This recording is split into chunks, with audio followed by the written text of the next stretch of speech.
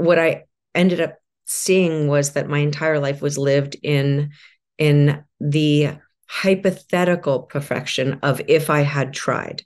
So if I had studied, I would have gotten 100% on this test. If I had actually practiced my music for the recital, I would have played it, performed it perfectly.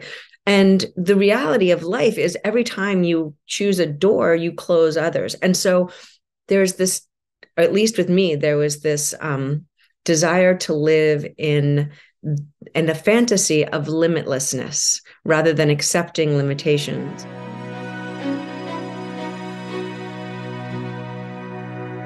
How do you do, Lisa? Good to see you. Wonderful to see you too. It's Thank been you, a Tammy. long time. We were going to speak. I don't know how long ago.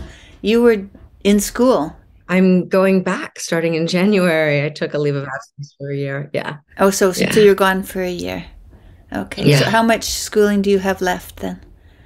two and oh no um i three three and a half years well two more a year and a half more of classes and then the and then it's dissertation writing so it's three it's three years of classes two years of writing the dissertation and remind me is this a research or clinical type of it's degree jungian it's i will not be a clinical psychologist no no no i don't don't want to be doing that it's um it's Jungian psychology, but it's archetypal and depth psychology. It's Jungian, Hillman, um, some post Jung, other post Jungians. And but. so you will be uh, licensed to speak to people.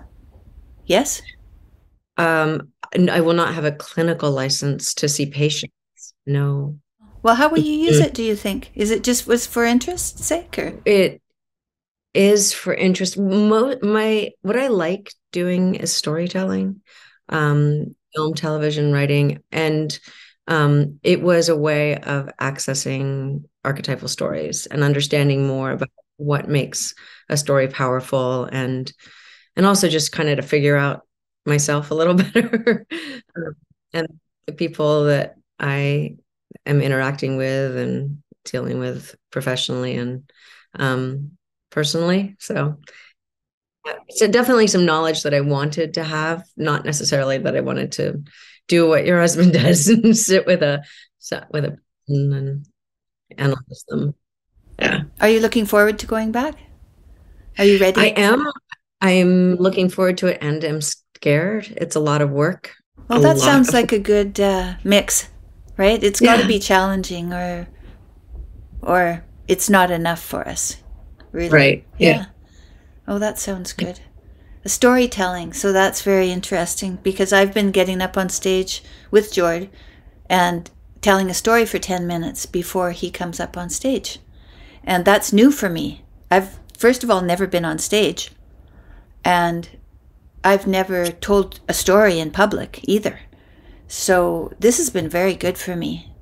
Um, and who knows at what level, right? Who knows how deep it'll go and I'm also, you know, I'm reading, I'll read um, a, a, chapter of his book and then reflect on that and then tell a story. Or I'll take something that's happened and just reflect on the meaning of it and tell it. And uh, our tour manager is a retired comedian, semi retired. He was on the road for 20 years as a comedian.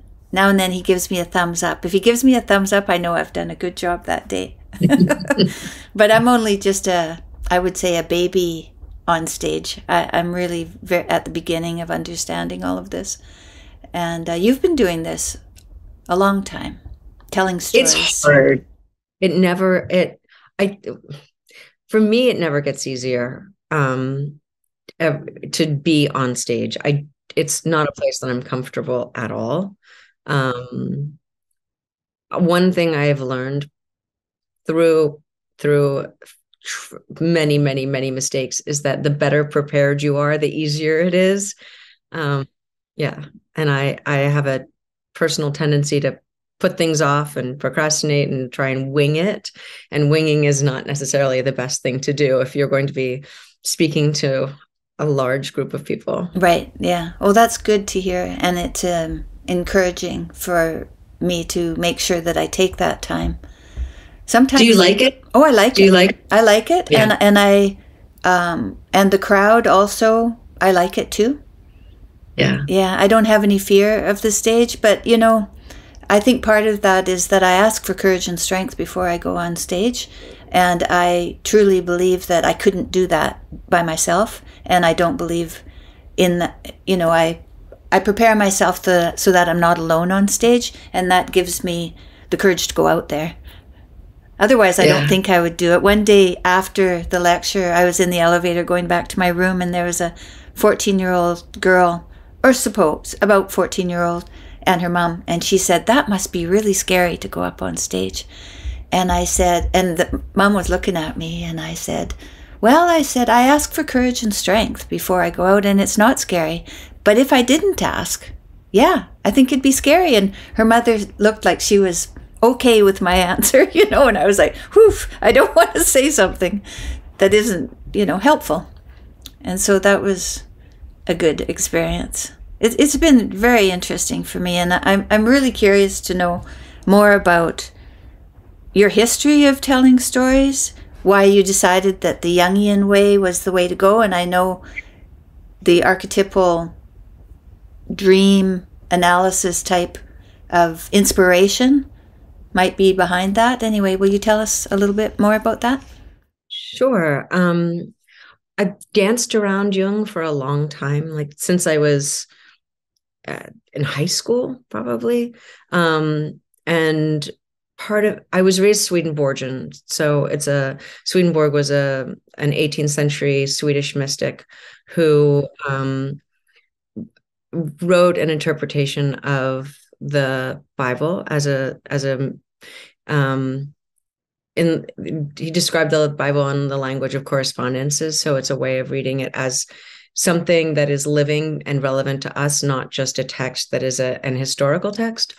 So I liked the mystical aspect of Jung um, and that he approached life um, from a desire for meaning as opposed to Freud, where it was all about sex. Not that I have any problem with that, but I think that is more than that. Um, and they can be the same thing in some instances.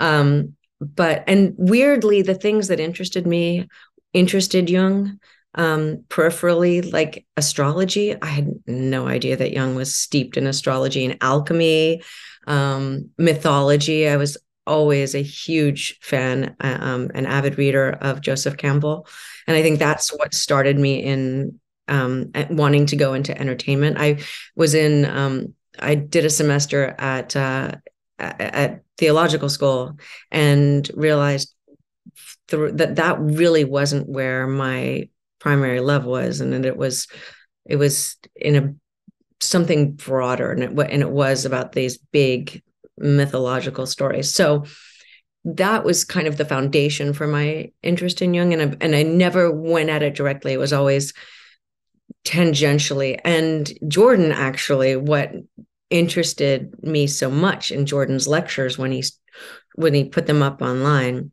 was the fact that he is so steeped in Jung and that he is just like a probably the greatest popularizer of Jung ever. Um, so he, in many ways, was an inspiration for me to go and fact, go learn myself rather than just have to absorb it, um, you know, through third parties. Which books have you read of Carl Jung's? Oh my gosh, um, they're right there. You can see. Um, we read parts of all of them. We don't do cover to cover um, for any book yet, but um, no, that's not true. That's not true. Men and Symbols, we had to read the entire thing. Um, and um, what is the other one?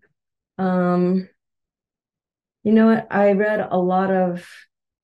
Um, sorry, I'm looking backwards. um, Aion, I read a lot of. I'm not a. That's supposed to be a hard one. It's I don't get it, um, but I think it's me, obviously.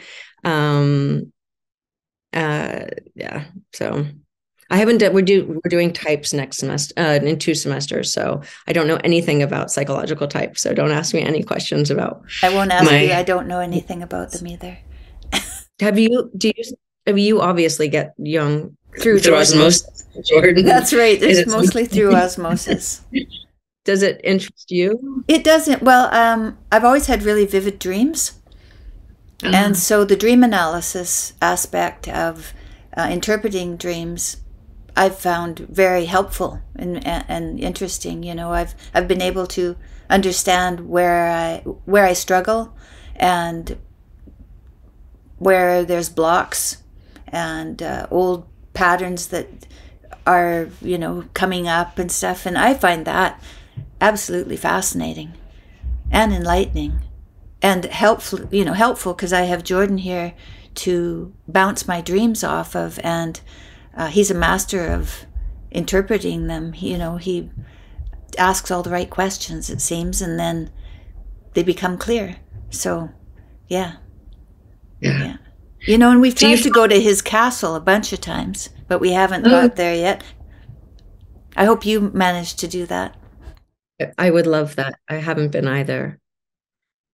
Have you, do you find that Jung um, enters into your relationships, your relationship with Jordan specifically, like unconscious, archetypally, and the projection of your anim, animus in your interactions with him, or does do you do you see the the knowledge of Jung being a big part of your relationship?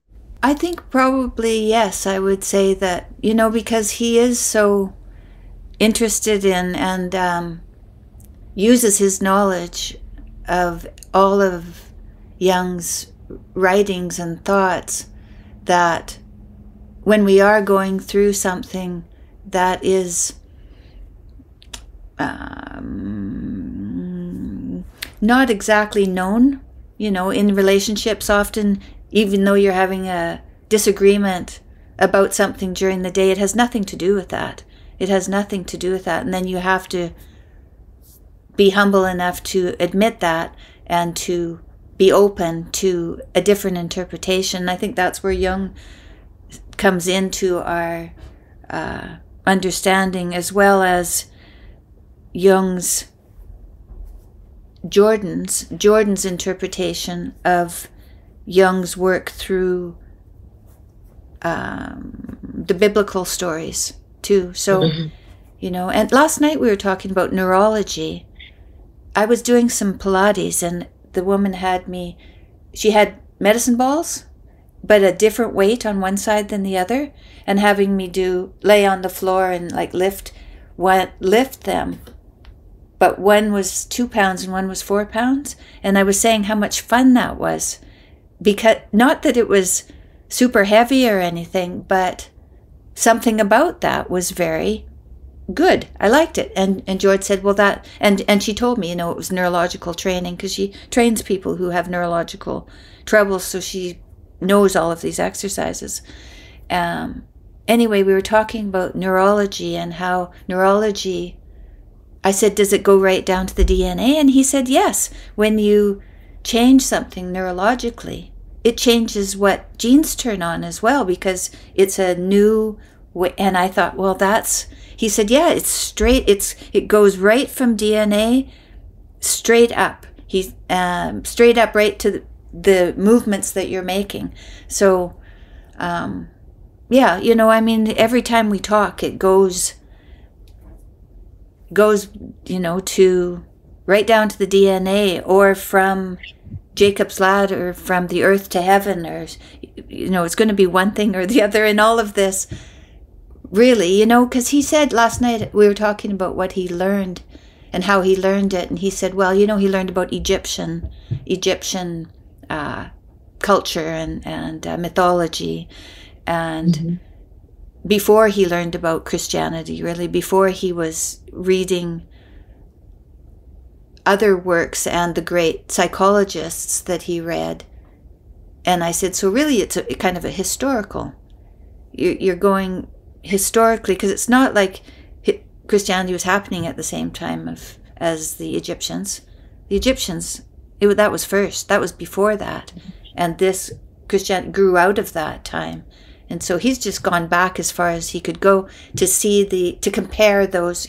So he'll compare, and then with the comparing, he'll compare it to his work in Christianity or his work with Jung and then Christianity or Egyptian or Mesopotamia. And so he, yeah, so I'm learning as I travel with him. I ask him, how does that brain work? You know, how do you how do you get on stage and talk without any notes or anything? Well, I have a library and I have all the Egyptian work here and I have all the Mesopotamian work here and Jung is here and I'm like, okay, that sounds like I could never do that, and I don't know who could, but yep, I believe you. That's what you do. and he connects them all. Yeah, he connects them in a way. What's so beautiful is that they're all relevant. He connects them so that we see that they are us, right? Because that we we live the stories that the Egyptians wrote in their mythology and the the trials of the children of Israel through the wilderness and Jesus's life is the life we should model. It it's all us, right? So all of it is relevant. It's it's all the human condition or the the path of growth for the ideal ideally for the human. But how do we Not, tell when we're on that path? You know, how do we tell in our daily life? from morning till night, how do we tell that we're on that meaningful path? That's that's a question that's always coming up for me. What how do you answer that question? Well, when I was saying that the balls were in- interesting, I said that's interest it's challenging. It was challenging and it was interesting. Well, what does challenging and interesting mean? What's the meaning of challenge and what's the meaning of interest? And I was I was just thinking it was fun. That was my interpretation. Oh, this is fun. I like this. But then I thought, well, it's also challenging, so that makes it fun. And then he said, yeah, but you know, it's neurological too, so it's going down through your neurons to your DNA. So I'm because it's interesting, I'm accessing my DNA. That's so that's so uh, mind expanding to think that way. Yeah. Well, years ago, there was a, a, writer named Bruce Lipton who wrote a book on biology of belief. And he talked about epigenetics. And no one had really been talking about epigenetics before that. But one of the things he articulated, which was brilliant, was the I, we always think of the nucleus of the cell being the brain right because that's uh, that's where the dna is but really the cell the membrane of the cell is the brain of the cell and because it's permeable the chemicals from your exercise and you generate oxytocin or whatever biochemical you create and it gets in your bloodstream and it does cross cell membrane and that's how it impacts the DNA because it can get in there when you generate all these chemicals, these endorphins from working out, it actually does affect your biochemistry at the most basic level.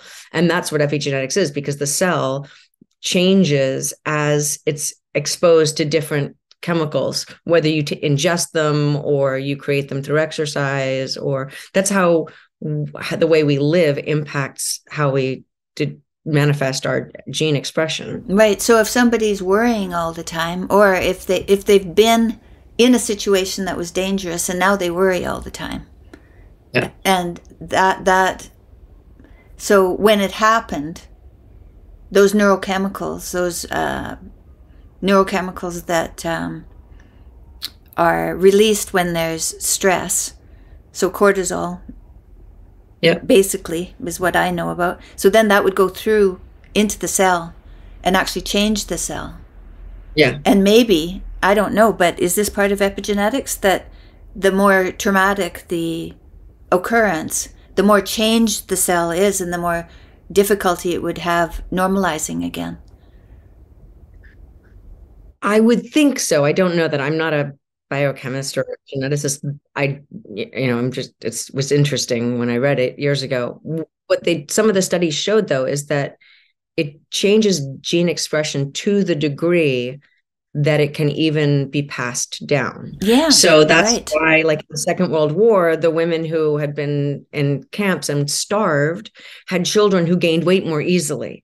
So that's how you shift gene gene expression. I would think the more extreme, if you know, if you just went on a diet, I don't think your children would necessarily get fat easy more easily. But if you're starved, then you pass on a thrifty gene so that you you don't waste a lot of calories so yeah i do think you know the more extreme the more the more pronounced the um the expression would be and it's heritable which is wild yeah and in the bible it talks about you know seven generations seven generations you know that recurs lots through the text. And i wonder how long these traumas last. And if they're seven generations that's that's like 300 years or 350 years.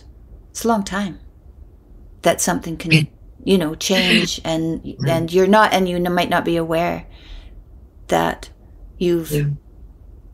You've actually uh, been in a situation that was so traumatic that your life is changed. But there's ways i think maybe with what you're doing to tap into those times and to heal from them. Yeah. I i think the more conscious we are of our of our woundings our complexes the more able we are to address them if we are always um, denying or suppressing or running away or avoiding you can't really uh, heal at all um, so i do think what I'm doing is, is certainly beneficial for me. Definitely has um, helped me deal with and process a lot of my own issues. Um, and I do think becoming conscious is one of you know we talked about how do we know when we're we're when we're doing the right thing when yeah. we are mm-hmm. in a place and i do think that um being in growth be con- consciously committing to growth is one of the ways we know and you you um can't really do that unless you're honest with yourself. Well first of all because we all lie to ourselves all the time. Um, and i think with jung it's just a it's one of the many tools that are, is available for people to become more aware of things that are going on interiorly.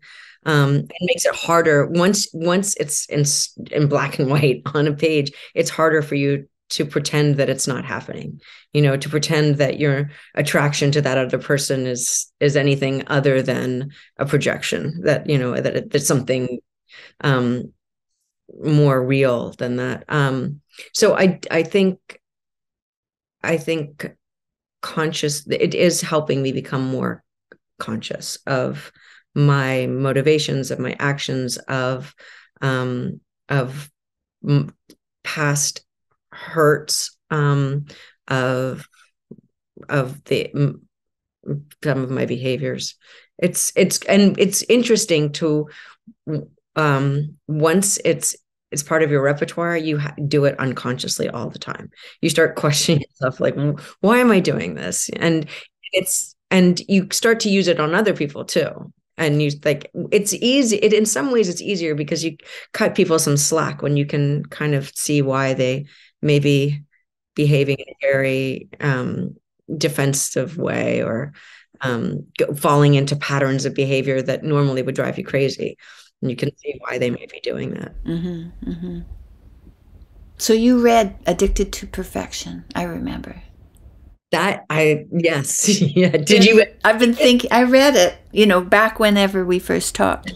And I wrote notes but I can't find them of course they should have been where I thought they were but they weren't but I do remember the book somewhat and I remember that it had to do with being making this one mistake which is looking for perfection where there isn't any and recognizing and, and learning to recognize that you're looking for perfection. Let's talk about that a little bit because lots of people, everybody suffers from that some. Yeah. I think. Who was the, the author the, of that? Sorry, who was the author of that book? Do you um, remember? Uh, oh, sorry. Yes, it'll take me. No, it'll take me one okay. second. okay. Um, Marion Woodman. Oh yes, that's right. That's hard right. for me to remember like authors' names, books. Like you're like, what Jung have you read? It's like a 15 volumes, but yeah. Um, uh yeah she she's brilliant. Um and that that i was doing a paper on the mother complex as we, you know we all have multiple complexes. That happens to be one of mine. Um and it was a great resource for that. Um, just and being an oldest child, you the expectations that are put on you do kind of lead to uh, a need for perfection, in which what, is impossible. in what way? Because I'm a youngest child, so I had a total, almost an only child, so I have different things going on. Yeah. Um, I, I don't I don't know why, but oldest children tend to be um, overachievers. I am not an overachiever, but the uh, expectation that I would be successful and um, uh, was always there. Not that it's not on children, but I think older, oldest, oldest children kind of embody all the hopes and dreams of of new parents. And then by the time they're at their third, at least with us, by the time they're third or fourth children, who I adore, I love them, but you know, you know, you've been down this road before. You know that they're going to make mistakes, and and there aren't that, you know. Mm-hmm. So then it's uh, growing up. There's perfection. There you're looking looking for perfection in your own actions that yeah well you know i have a little of that too though. Actually what i have is that if i'm going to do something i don't want anyone else to be there right? Really? Right because i don't want to and it's funny because i'll go out on stage and i could easily make a mistake there but that's okay with me that's okay with me. But if i'm doing something like drawing or painting or playing the piano i want to be by myself I want to be by myself. And I think that's kind of odd, and I don't know where that's coming from. So that's what I've been looking at lately is, well, why, why don't I just play all the time when anybody's around? Because it would be nice well, if I did. I'll, so with me, and it may be part, I'll just share this with you because it may be relevant for what you're experiencing. Because there was this expectation of perfection, and I knew even as a toddler that that was not the reality, there was this Ill- projection of being the perfect child, always well behaved, always doing what was expected. But and things came easily, but as soon as they didn't, there was a, a um, almost an opting out. And so what I ended up seeing was that my entire life was lived in in the hypothetical perfection of if I had tried. So if I had studied, I would have gotten 100% on this test. If I had actually practiced my music for the recital, I would have played it, performed it perfectly. And the reality of life is every time you choose a door, you close others. And so there's this, at least with me, there was this um, desire to live in and a fantasy of limitlessness rather than accepting limitations.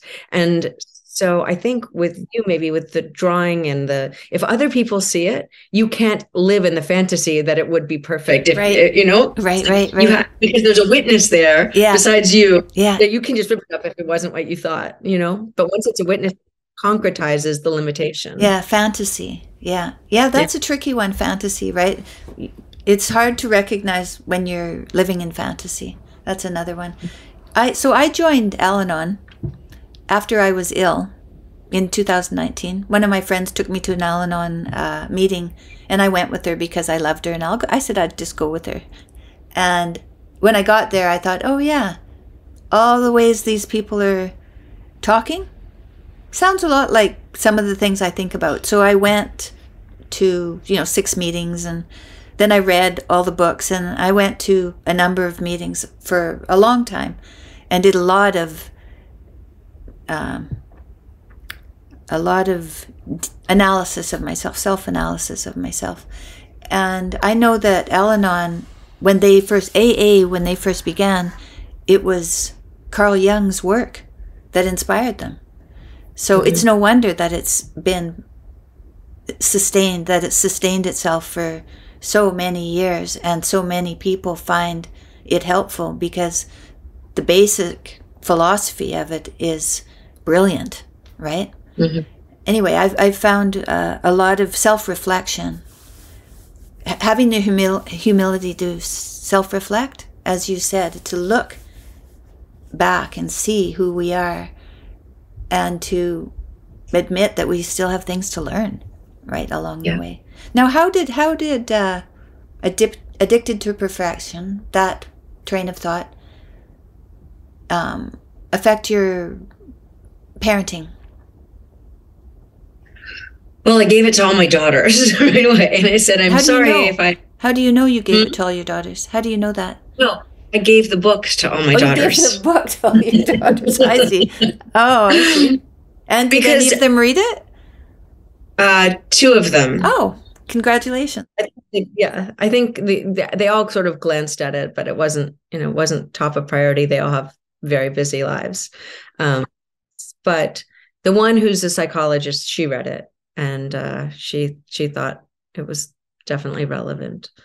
Um, but I think all of us, no, no, no matter how good your parents were or how good you are as a parent, we make mistakes, and even when they're not mistakes, they can still end up wounding our children. And I don't think that's necessarily a bad thing because children need to learn to survive. If you keep a baby in a bubble, they literally will not survive. And so I think parenting is a way of preparing it's it's supposed to be the way we prepare our children for the world to be responsible and resilient and um, problem solvers and co- compassionate. And so it's not that we want to make mistakes but we do. And um and so i i think it's useful for kids to understand well children for all of us to understand that as parents and as children as wounded children.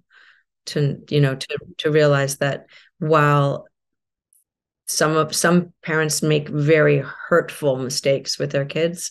Um they're things that they they become part of our toolbox you yeah, know for, right, right. for the rest of life. Yeah my dad's 92 i just went to see him and he's getting he's getting quite elderly. And he had we thought yeah. we were going to have to put him in long-term care but he's rallied again. So he said you know i had an episode and now i'm better so off he goes again. He's living with his second wife and she takes really good care of him. So he's managing to stay at home and we're very grateful for that.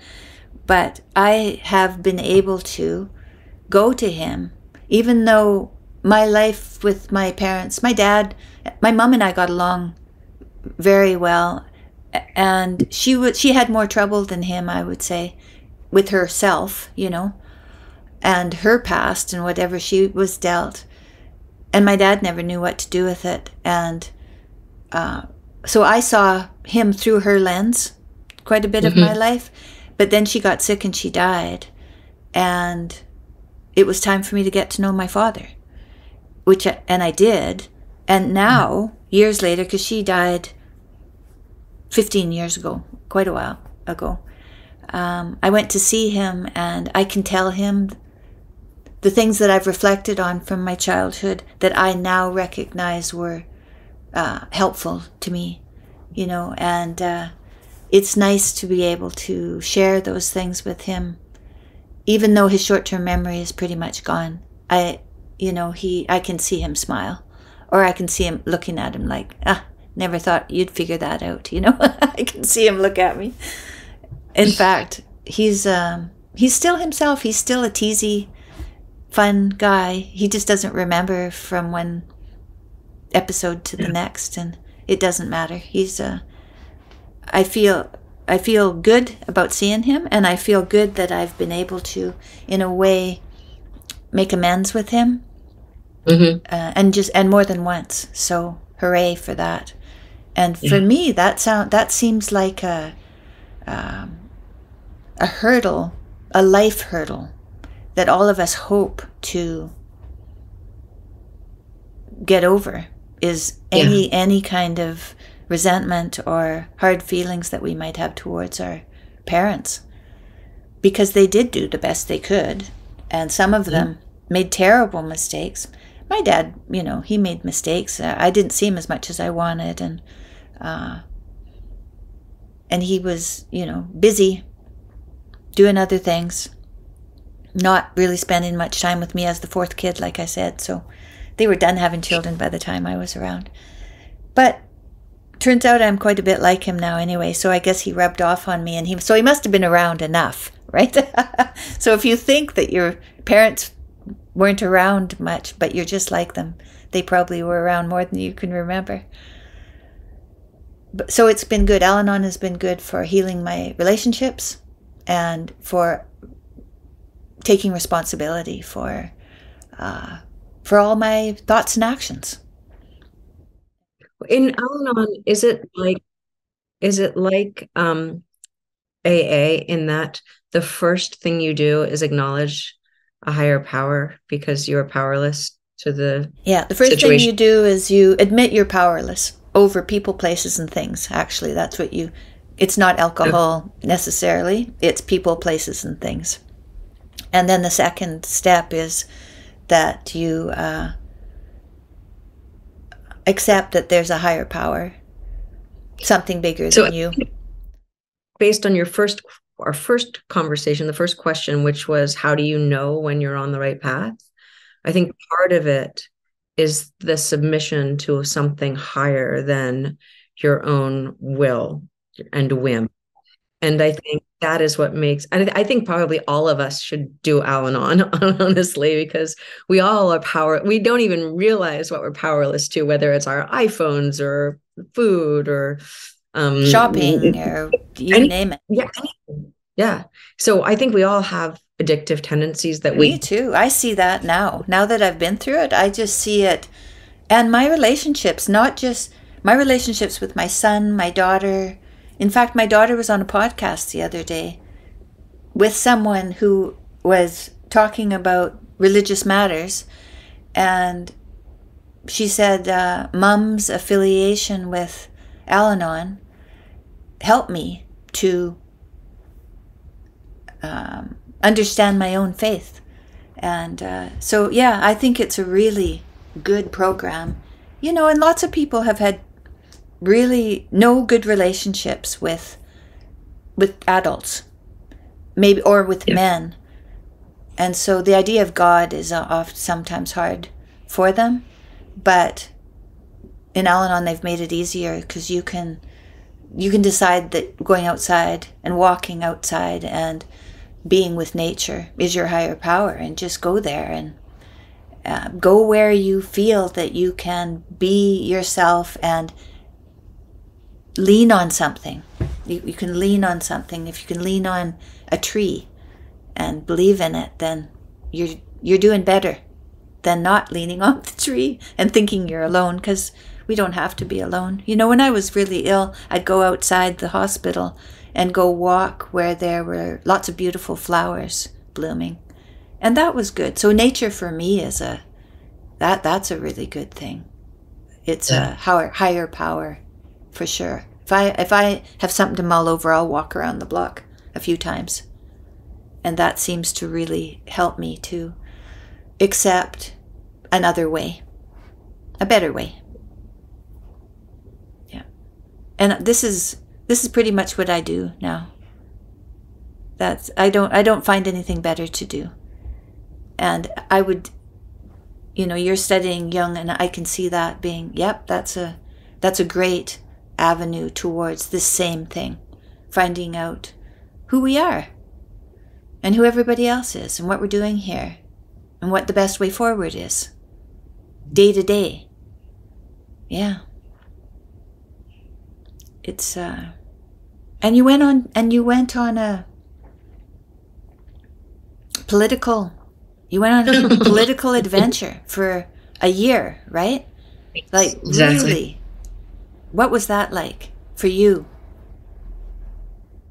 Um oh so jung talks about the the confluence of opposites. It's all about reconciling or or integrating the opposites. And there's this thing that you know he talks about a lot is enantiodromia which is the swing to its opposite. Everything has this tendency to balance out by its a swing to its op- opposite. It was actually i think heraclitus who proposed it proposed and, an, enantiodromia first. Anyway it was that was an experience of the most possible opposites.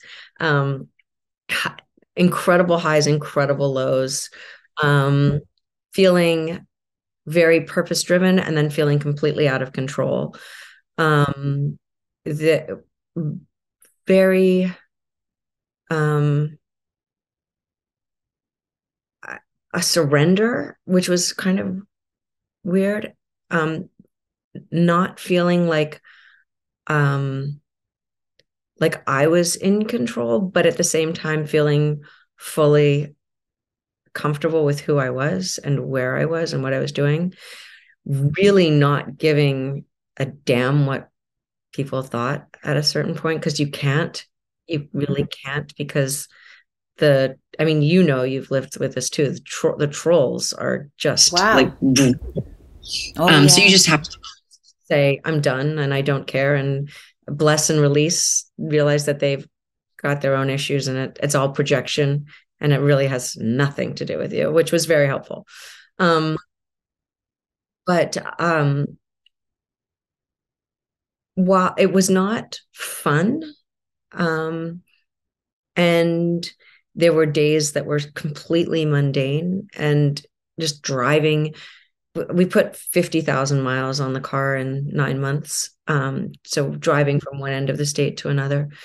Um, but at the same time, learning a lot. And can you tell us a couple of things you learned? Um, that how, how much I adore my husband. Um, and I always, I, I've loved him for since I before I knew him. Um, he was is my um, soulmate, but um, just being beside him and watching him and trying to support him and the level of sacrifice and commitment mm, took my understanding of our relationship to a completely different level realizing so that was one thing i learned. We also i i learned i how hard life is for so many people.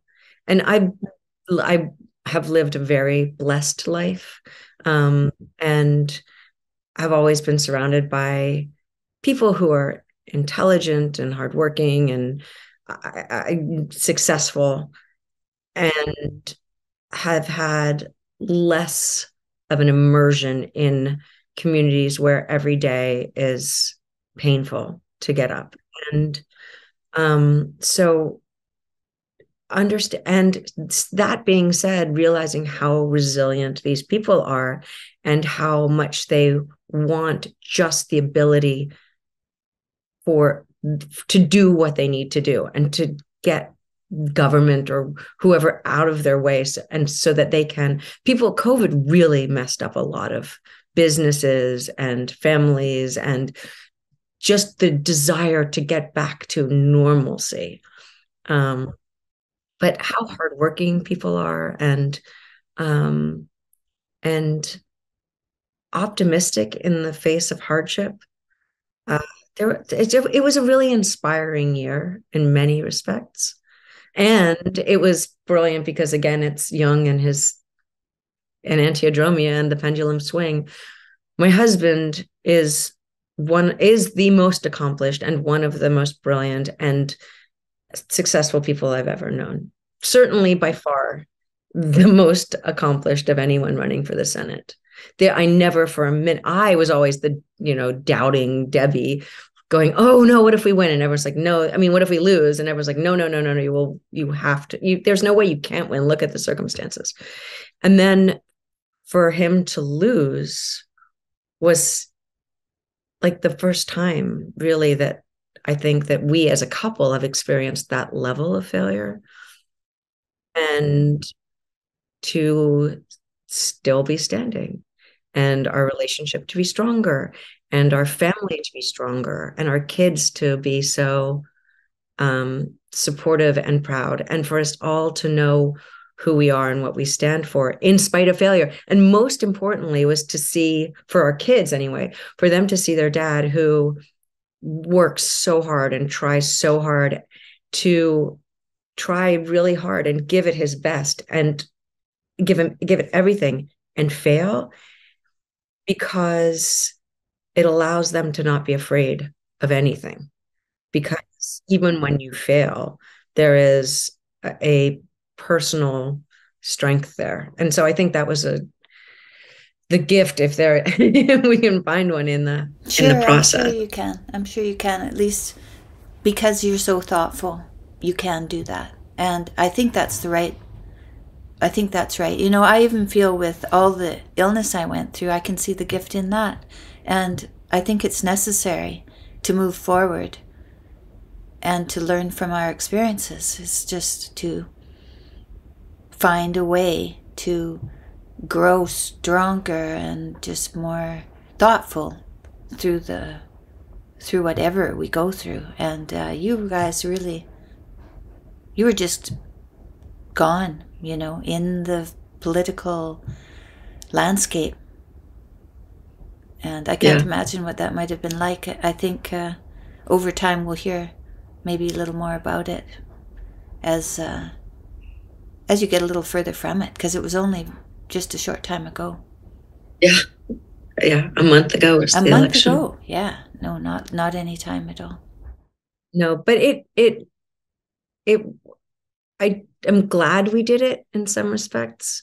Um, it also is again an archetypal tale. It's fascinating because you there there is not a single hero who does not have um, a fall. It it is archetypal hero's journey. So, um, and it also indicates that there, there there are things with the good the biggest lesson here are you cannot control everything. There are things that are so far out outside of your control no matter what you do there will always be something that is thrown into the mix. So our, our one of our political advisors said halfway through the election after the primary he said politics is a three-way chess game. You move your opponent moves and then God moves. And you really saw that in this election. It was the things that you would uh, Roe v. Wade being overturned. We, I mean, you couldn't right. have anticipated oh, that. the single biggest factor of the election that was nowhere on, you know, on the horizon. So it, you do see that there are forces at work, whatever you want to call them, God or the fates or destiny, that that are outside of your control. And i think that's an important lesson too. You do your best but you it's not up to you in the in the end. Yeah yeah. And that's what i learned when i was sick that it wasn't up to me. Yeah, yeah. and thank goodness for that. You can feel a big weight come off your shoulder when you realize that. Yeah. And that makes that makes stepping out and doing things that are difficult a challenge knowing that that you don't have control over everything, and so you only have control over what you do right. have control over, and other than that, it's out of your hands. So you just do what you can do, but just let go of the rest. And well, because it really isn't. We're not playing the game we think we're playing, right? I mean, it. Uh, Jordan talks about meta games, and we think we're playing this game of of success and whatever accomplishment on this level. But none that's not really where the game is being played you know? It's really and you don't control what's happening what you only control is yourself and that is who you are the character you're building you know the real character is the is the game not the avatar that we're living in the material world. No i i see this what's going on now is you know communism because we talk of Canada as communist Canada now. We might as well, because that that's the political landscape right now. And I I really do, as I get older and have lived more and fallen more, uh, I I do believe that we have. Uh, we have forsaken our religion and our faith, and what takes over is communism. Not just mm-hmm. communism, but that's one of the ways that you'll go because if it's not if it's not God and the Garden of Eden at the top, then it can be all kinds of things at the top. And that's what we're seeing now, all kinds of things. And until I think we find our way back to that Garden of Eden, we are destined to be in this multiplicitous place of of uh, different things being worshipped. Yeah. Yeah. I well, I was saying we were talking about Aion before. but there is this movement from age to age and i feel like we're living in ancient rome at around 100 ad because there's a transition from the pre-christian world to the christian world at that time and nothing was clear and it was all conflict and we didn't know if christianity we, they they at that time had no idea that christianity would emerge as the, the as the zeitgeist of of 2000 for 2000 years. And i think right now we're in a in a time where christianity at least for the since nietzsche pronounced it but it was probably happening before then christianity has lost a lot of its influence globally. Um, i saw that we were in europe and i definitely saw that in london and paris that it that it is that is not there was not that there were lights, but there was no sense of Christmas, like that it's a religious holiday at all. Um, which is concerning to me because I'm very attached to my Christian faith. But when I step back and look outside of this time period, we are entering the age of Aquarius. And I don't know what the way that we connect to the divine will look like in the next two millennia and I and I, and nothing seems to be rising at this moment. Communism could just be a way of dissolving everything because it's atheistic, it's it's totalitarian, it's communal to the degree that the individual is crushed. Um, and and and the beauty of Christianity is that it's all about an individual relationship with God, right? That's the that's the foundation of Christianity. So I'm hopeful that that in within divine providence, communism will just be a intermediate state and something good will emerge from it. But it's not pleasant and it's evil, I think. Yes, I do too. I think that there's satanic work going on. And uh, the more we talk to people and the more that people talk to us, the more that comes up as a as an explanation of what's going on now. So but I, I have hope too. And hearing that from you who've been like all around, I don't know how broadly you traveled. How broadly did you travel through the States? Oh, just Pennsylvania. Just just back and forth across Pennsylvania. Yeah. Yeah. And got to know every constituency there, I guess. Yes? Well, just the Republicans for the most part. Yeah. oh yeah. Oh yeah. So you don't go into the Democratic parts of there, a lot of the places you do, um, but there are both. But the, a lot of the, the, the when we would do rallies, the people that would come and we would talk to one on one were Republicans and some independents and a, a, bunch of Democrats who were leaving the party just because they see socialism. I would, and you call, you know, the Canada communist, but we're the USSA, we're the United Socialist States of America, and socialism is creeping its way at a, you know, pace that makes me very uncomfortable. Um, in the White House now too, so that's very disturbing. Oh, yeah. yeah. Oh yeah. Yeah. Yeah, but you know, I, I who knows how far we have to go down that road before we see it for what it is. Right. I know. I mean, the Russians, the Chinese still haven't woken up, and the Russians, it took a while, quite a while. It took a couple generations. Yeah, right? so, that's right. That's right. So, Hmm. We need to talk about something else. We can't end on this down note. what else? Well, we could talk about we could talk about Christmas. So yes, we're in Toronto, which is very nice, and we're going to spend Christmas with our family and our friends, who we never, we hardly ever see because we're on the road all the time. I don't see my grandkids very often, but now I get to. So that's wonderful, and because they're still little every every month I'm away, I think, oh, they're a month older, you know, I have to get home.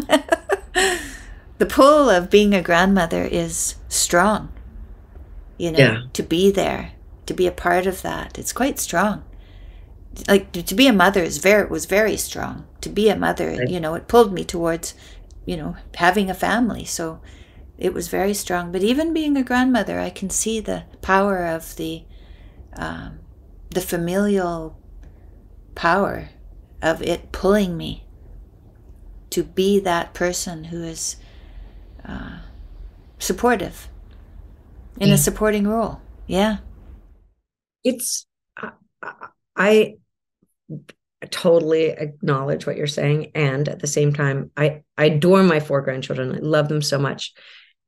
Becoming a grandmother was hard. And I don't know if you experienced this at all. When I had my first child, going from being young woman to mother is a major identity shift, especially because you go through pregnancy. And I went through much of my life in interacting with people in a way that that that acknowledged my sexuality. I was all I wasn't overtly flirtatious, but the fact that that that that I was a sexual entity was always part of of who I was and how I presented in the world.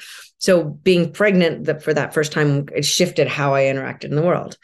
Being a grandmother, I did not expect to be a major identity shift, and like I would not say crisis, but it kind of was because you do change from being the from woman to crone like overnight. You become you said the supportive one. You're not the the mother not the not the one who's giving birth not the that character anymore in the play. You're now the you're like out in the sidelines and it changes who you are. You are a grandmother and that is just such a different and complicated and for me difficult role to embrace.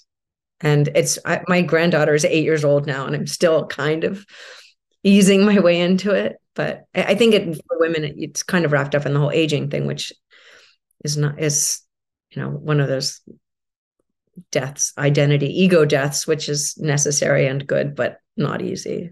Well also i wonder we have a lot of opportunities as and we have health too you know like people are healthier than they were last generation. So being at a grandmother age now is not that much older uh, physically than than when I was at childbearing age or I don't even feel really that different. Yeah. And so there's that that is makes it tricky. Because um, I, I find I'm excited about it and I feel a pull, but it's but it's confusing. Mm-hmm. Yeah, it's confusing. Um, because it used to be because pe- roles just aren't defined anymore. You know. So it's no wonder it's confusing. You know, I'm not sitting at home knitting booties and rocking in a rocking chair. I'm just not doing that. And uh, yeah. so that so what am I doing? And how am I fulfilling that role? And my kids have nannies. I never had a nanny. I just raised my kids, and, and my husband and I raised our kids with no relatives or anybody around. We just raised them. And my kids that live far away, they have a nanny, and my kids in town have a nanny. I think, oh, huh. And fair, fair enough, you know, if you you want to work and this is allowing you to work and it's giving someone a job, great. And it's giving your little kids someone else to be around and that they can depend on and stuff. That's wonderful. So, yeah, the grandmother role, in a way, has, or at least in my experience, has changed. It's mm-hmm. different. It's yeah. different than it was. But it's still fun to be with them when we're with them. It's fun to tease the... them and make them laugh and all of that. It's it's fun. And I was buying books. I bought I bought three little books because they're two. They're just two and a bit and eight months old, so they're just getting going. But I I bought three books. One on, uh, one on anger, one on gratitude, and one on joy.